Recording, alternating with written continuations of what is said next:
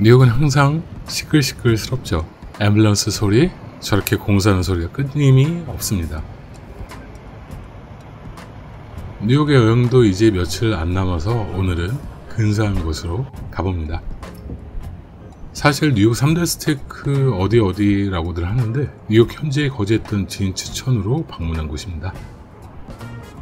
다른 유명한 스테이크는 뭐 인종차별이네 뭐 불친절하네 그래서 솔직히 가기도 싫어서 내 돈 주고 먹는데 굳이 그런 곳은 안 가야죠. 어디든지 아무리 맛있더라도 일단 불친절한 곳은 패스합니다. 그런데 여기는 진짜 찐입니다. 두 말하면 잔소리고 세 말하면 입 아픈 곳이에요. 갈라거스 스테이크 하우스입니다.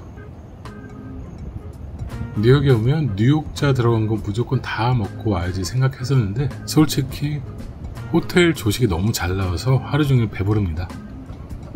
호텔 조식 특별편으로 하나 영상을 올려보도록 하겠습니다.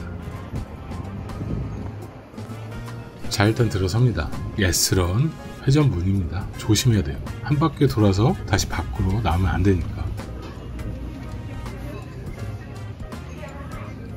그렇게 여기저기서 난리를 치는 드라이 에이징 하는 곳입니다. 사실 드라이 에이징은 숙성하는 과정에 생기는 곰팡이를 떼어내고 나면 손실률이 많이 크기 때문에 엄청 비싸긴 하죠. 고기 숙성실에서는 저렇게 고기에 붙어있는 꼬리표가 바람에 흩날립니다. 마치 자기를 먹어달라고 손짓하는 것 같습니다. 그래, 오늘 다 먹어주마. 잠시 대기를 하고 입장을 합니다. 꽤 사람들이 많죠.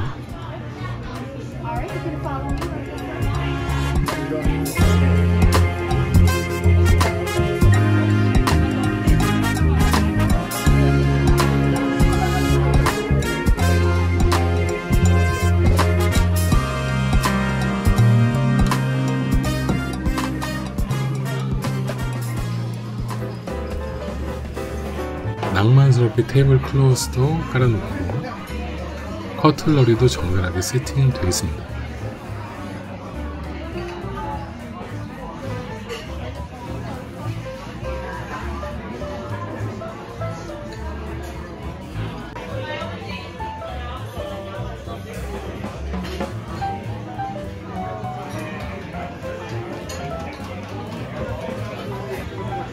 드라이 에이징 고기는 1인분에 65달러 정도 해서 포터하우스 2인분과 에피타이저로 랍스터가 좋다길래 한번 시켜봤습니다. 그리고 해시 브라운, 양파 시켰습니다. Uh.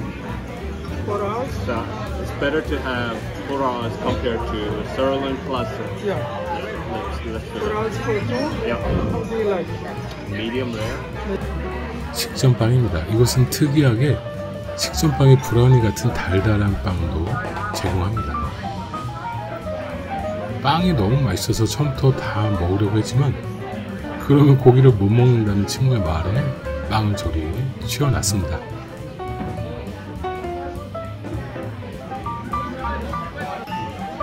자 드디어 나왔습니다.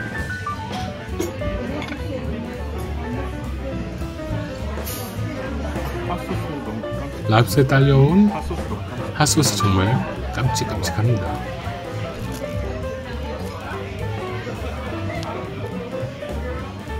아 저기 radish. 아 먹어. 일단 레몬을 뿌려서 조금만 먹어보기로.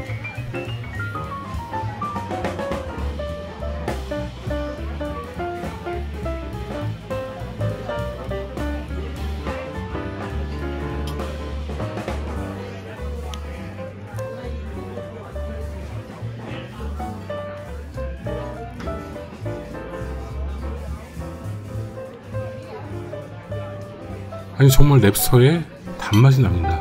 신선한가 봐요. 그리고 버터를 발라서 다시 한번 아 레알 맛있습니다.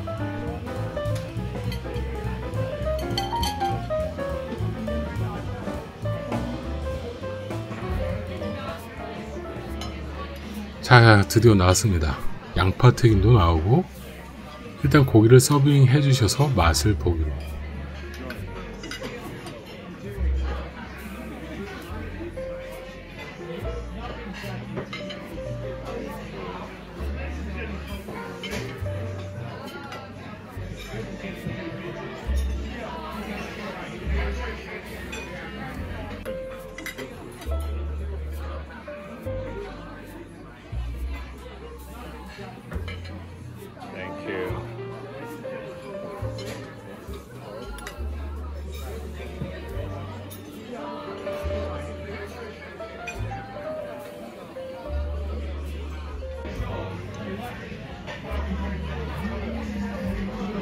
샤랄랄랄랄라 와, 웬 고기가 솜사탕인 줄 알았어요. 입에서 녹아요 그냥. 아르헨티나 소고기가 그렇게 맛있다고 그러는데 뉴욕의 소고기도 정말 환상적입니다. 가격 대비 생각해도 한국보다는 훨씬 저렴한 느낌이 들고요. 멍한 치고 정말 내 팔뚝보다 큽니다. 아니 이걸 오, 다 먹을 수 있으려나? 자 side dish인 양파 튀김도 쿰척 먹어보죠. 고급스럽게 냅킨 위에 튀김을 담아줬습니다. 한국의 아웃백에서 예전에 이렇게 양파 튀김을 팔았는데 없어져서 아쉬운 마음에 시켜보았었는데 정말 이것마저도 맛있습니다. 그런데 이게 끝이 아닙니다. 놀라운 게 하나 더 있습니다. 바로 hash brown. 맥도날드 아침 메뉴에 나오는 그런 hash brown이 아닙니다. 여기는 진짜예요. 와, 감자가 이렇게 맛있어도 될 일인가요? French fry처럼 썰은 감자를 팬에 노릇노릇하게 구워서 오븐에 구운 hash brown인데 겉은 진짜 French fry처럼 바삭한데 안은 정말 부드럽습니다. 아 감자가 정말 mashed potato 같았어요. 정말 놀라운 맛이어서 당황했습니다. 그런데 정말 여기서 끝이 아닙니다.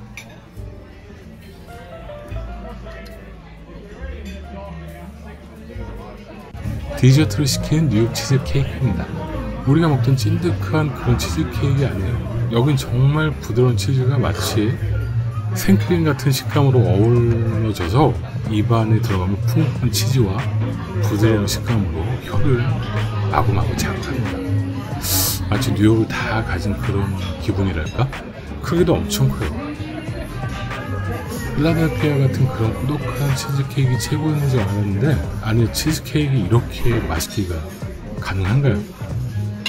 아 원래는 뉴욕 치즈케이크 먹으러 가려고 맛있다는 케이크집에 가려 했었는데 여기 치즈케이크를 먹고는 그냥 치즈케이크는 쪽냈습니다 항상 먹고 나는 계산서 보는 건 언제나 괴롭고 끔찍하지만 궁금해하는 분들이 계실까봐 자, 티 포함하면 한 260달러 정도 됩니다. 그래도 한국의 드라이 에이징 스테이크 하우스에 비하면 참 혜자스럽죠. 혹시 뉴욕에 가신다면 반드시 반드시 가야 할 맛집입니다. 저도 다시 가게 된다면 하루 종일 굶고 다시 가봐야겠습니다. 빨간색 카페트가 참 인상적이죠? 정말 맛있게 먹은 스테이크 레스토랑 갤러거스 스테이크 하우스였습니다.